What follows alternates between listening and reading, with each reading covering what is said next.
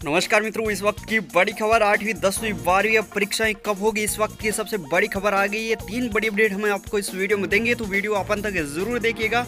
और साथ ही साथ, यदि आपने अभी तक चैनल को सब्सक्राइब नहीं किया है तो आज ही रेड वाले बटन को दबा के सब्सक्राइब अवश्य कर ले, क्योंकि आज यहाँ पे मिले कि आपकी बोर्ड परीक्षाओं की जानकारी, एकदम सत्य और सटीक जानकारी।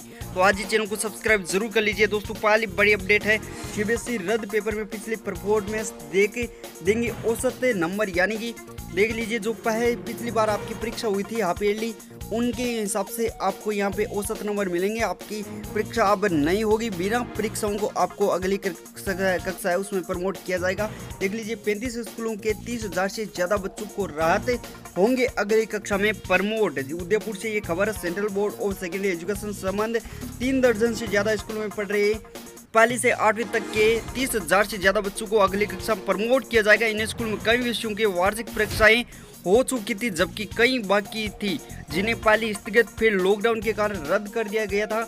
अब स्कूल स्तर पर इन छात्रों को प्रमोट करने का फार्मूला निकाला गया है कि बच्चे हुए पेपर में छात्र की अर्धवार्षिक परीक्षा समेत पिछली परीक्षाओं में प्रदर्शन के आधार पर औसत नंबर जोड़कर रिपोर्ट कार्ड बनाया जाएगा और स्कॉलर्स एरिना स्कूल के निदेशक संचालन डॉक्टर लोकेश चे ने बताया कि स्कूलों के इस फैसले से ज़िले भर में अनुमानित तीस छात्रों को फ़ायदा इसमें मिलने वाला है। तो इस प्रकार की खबर आई दूसरी बड़ी खबर देख लेते हैं।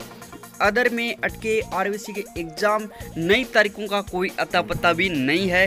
जी मित्रों, जो कोरोना वायरस से के बचाव के लिए उठाए गए ऐतिहासिक कदमों के तहत राजस्थान माध्यमिक शिक्षा बोर्ड की उन्नीस मार्च से स्थगित कर दी गई परीक्षा उसके बाद उपजे हालात के चलते पहले राजस्थान, उसके बाद संपूर्ण भारत को आगामी चौदह अप्रैल तक लॉकडाउन कर दिया तथा मौजूदा हालात को देखते हुए तीस अप्रैल तक बोर्ड की परीक्षा होने की कोई उम्मीद दिखाई नहीं दी। यानी तीस अप्रैल तक आपकी कोई भी परीक्षा में नहीं होगी। और हालात पर और भी काबू नहीं पाया जाता तो आगे भी खिसक सकती है। इसके बाद में एक और बड़ी खबर C B S E R B C की दसवीं, बारहवीं बोर्ड परीक्षाओं पर सन से इकतीस तक स्थगित थी। यहाँ पे जोधपुर से बड़ी खबर, कोरोना संक्रमण के बढ़ते प्रभाव चलते हुए सीबीएसई आरबीएसई की ओर अन्य बोर्ड की दसवीं और बारहवीं कक्षा की शेष परीक्षा आगे बढ़ना तय है यहाँ पे माना गया हालाँकि सीबीएसई सहित बोर्ड ने 31 मार्च तक इन परीक्षाओं को स्थगित रखा है, लेकिन इसके साथ ही उत्तर पुस्तिका मूल्यांकन का काम भी शुरू हुआ है।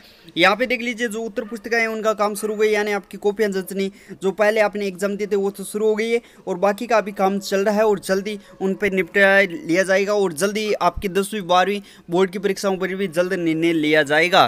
तो मान के चलिए, आपकी अप्रैल और इसके बाद में मई के अंदर आपके एग्ज़ाम होने के पूरी पूरी चांस है दसवीं, बारहवीं गई तो ये अपडेट थी आपकी दसवीं, आठवीं, दसवीं बारहवीं बोर्ड कक्षा जुड़ी। आगे भी हर अपडेट के लिए चैनल को सब्सक्राइब करना ना भूले। धन्यवाद।